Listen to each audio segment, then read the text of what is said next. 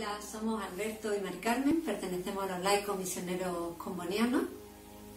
Hemos estado en misión en Bolivia, en Mozambique y en una experiencia un poco más corta ya en familia con nuestras hijas en, Etiopía. Bueno, pues nuestra llamada misionera surgió hace ya bastante tiempo, para finales de los 90. Buscábamos algo que nos ayudase a ir a la misión, algo que nos ayudase a a entregarnos también a los demás y cayó en nuestras manos un mundo negro, la revista de los misioneros combonianos y a partir de ahí fuimos a, una Pascua misionera, a un grupo juvenil también misionero y de solidaridad y así nos fuimos metiendo un poco en el movimiento de los laicos misioneros combonianos, formándonos, teniendo nuestra vocación hasta que finalmente pues, salimos a la misión, a África, a Mozambique. Nosotros dentro de nuestro Carisma, pues como laicos además, pues eh, allí en misión pues trabajábamos, Alberto trabajaba en una escuela y yo trabajaba en, el hospital, en educación y, en sanidad.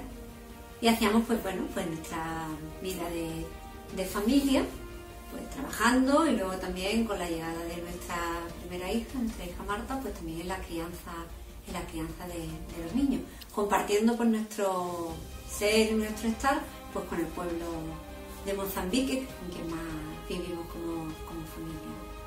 Sí, había una falta importante de profesores, también de profesionales de la sanidad, entonces ahí encaramos un poco nuestra misión como laicos. Y también dentro de la pastoral, pues, trabajando con, los jóvenes especialmente, con el coro, con ayudando a los matrimonios que, había en la comunidad. Era una misión grande, con muchas comunidades, y ahí hacemos nosotros un poco nuestro servicio misionero.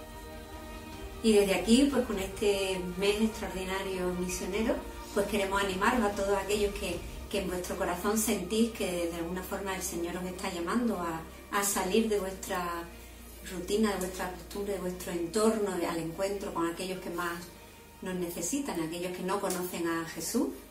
Os invitamos a poner manos a la obra, a buscar el camino en el que el Señor os está el Señor siempre te da ciento por uno, eso es verdad, y nosotros siempre, en nuestra vida misionera hemos sacado mucho más, ¿no? Tanto cuando hemos estado en África como ahora mismo, que seguimos animando, que seguimos preparando a personas que van, y bueno, es cuestión de confianza, ¿no? Y ojalá que muchos de los que estáis detrás también den un paso adelante y una esta vida tan maravillosa, ¿no? Que es la vida misionera.